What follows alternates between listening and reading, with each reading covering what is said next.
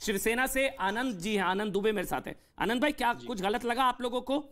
क्योंकि मैंने जो संजय राउत जी का बयान सुना उन्होंने कहा कि अगर हिंदू मुसलमान करते रहेंगे तो देश टूट जाएगा फिर विभाजन की स्थिति पैदा होगी। उनके बयान से कैसे विभाजन की स्थिति पैदा होगी? आनंद दुबे। जी। देखिए अमन भाई नमस्ते।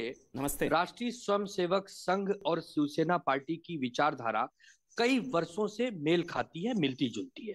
मोहन भागवत जी जो कह रहे हैं कि भारत के मुसलमानों को भारत के मुसलमानों को घबराने की डरने की आवश्यकता नहीं है।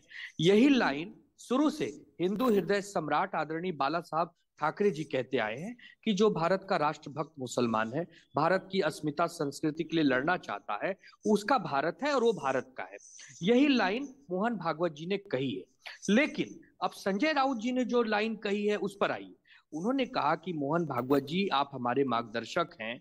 यदि आप हमें ये सब समझा रहे हैं तो आपके प्रिय जो भारतीय जनता पार्टी के नेतागण हैं, आप उन्हें भी यदि ये समझा देते कि भाई ये सबका देश है, इस देश में रहने वाले हर व्यक्ति जो भारत के विकास के लिए काम करते हैं, उससे प्रेम करते हैं, ये यहाँ पे रहे, पनपे, आगे बढ़े।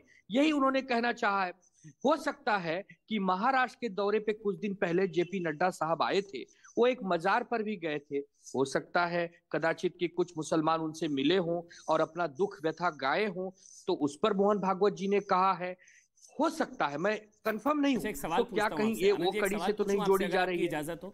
एक सवाल बिल्कुल अमन भाई। हाँ बिल्कुल अमन भाई। क्या हिंदू राष्ट्र के कॉन्सेप्ट से शिवसेना की ना इत्तेफाकी है? आप शायद शिवसेना को बहुत वर्षों से जानते हैं। शिवसेना ने महाविकास आघाड़ी की सरकार ज़रूर बनाई थी महाराष्ट्र में लेकिन अपने हिंदुत्व को नहीं छोड़ा था। अपने हिंदू प्रेम को नहीं छोड़ा था। हम सनातन धर्म को मारने वाले लोग हैं।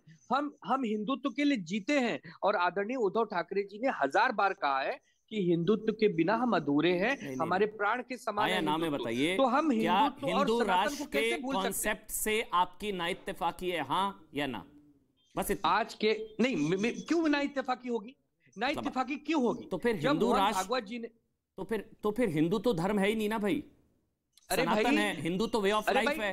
और सबका साथ सबका विकास सबका विश्वास तो हिंदू ही तो मतलब हिंदू बहुमत में तभी तो सेकुलरिज्म की गारंटी है तो आप लोग कहते थे। अरे तो भाई साहब तो वही तो कह रहा हूँ वही तो कह रहा हूँ कि सनातन से निकला हुआ ही धर्म तो हिंदू धर्म है। हिंदू धर्म है क्या? आप मुझे बताइए। तो हिंदू की परिभाषा बताइए। अच्छा बयान में कुछ भी गलत नहीं है भाई हम तो हिंदू धर्म को मानने वाले लोग हैं। हम हिंदुत्व का झंडा हमेशा बुलंद रखना चाहते हैं बयान में कुछ भी गलत नहीं है स्वागत करते हैं मोहन भागवत के बयान का। या विभाजन वाला बयान है। बस इतना बता दीजिए फिर मैं आगे बढ़ूँगा। मैंने पहले अमीर जी से पूछा कोई आपत्ति अब आप बताइए। मोहन भागवत का बयान विभाजन वाला या जोड़ने वाला? मोहन भागवत का बयान विभाजन वाला? तोड़ने वाला या जोड़ने वाला? बिल्कुल नहीं है। मोहन भागवत जी का बयान बिल्कुल तोड़ने वाला नहीं है। जोड़ने वाला। मोहन भागवत जी का बयान जोड़ने वाला है। लेकिन ये बात वो भारतीय जनता पार्टी नहीं, को सर, समझाने नहीं, नहीं, में संजय राउत का बयान आपको सुना देता हूँ। संजय राउत आप ही के नेता हैं। उन्होंने कहा है कि चुनाव जीतने के लिए राजनीति करने के लिए एक बार फिर हिंदू मुसलमान करते रहेंगे तो देश टूट जाएगा फिर विभाजन की स्थिति पैदा होगी। ये मोहन भागवत के बयान पर उन्होंने कहा है। कि हिंदू मुसलमान कर रहे हैं और फिर विभाजन की स्थिति पैदा होगी। ये ये संजय राउत ने कहा भारतीय जनता पार्टी को सीख देने के लिए कहा है। उन्होंने निवेदन किया है कि हे आदरणीय मोहन भागवत जी यही बात आप बीजेपी को समझा दो सब, मैंने दो लोगों से पूछा कुछ भी बयान में अभी तक नहीं कोई गलत बता पाया। मैं डॉक्टर रिजवान अहमद डॉक्टर रिजवान अहमद इतना बवाल हो रहा है विवाद पर कि